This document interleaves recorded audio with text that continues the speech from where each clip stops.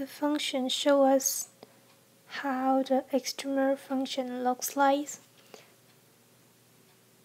And this is the extremal function and the absolute maximum as the red point. It goes up and the absolute minimum is the blue point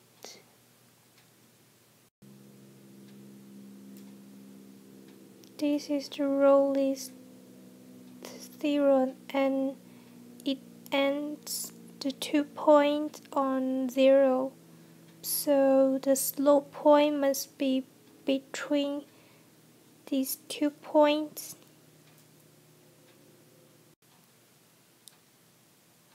The mean value function must be continuous and the slope point must be between negative 2 and 2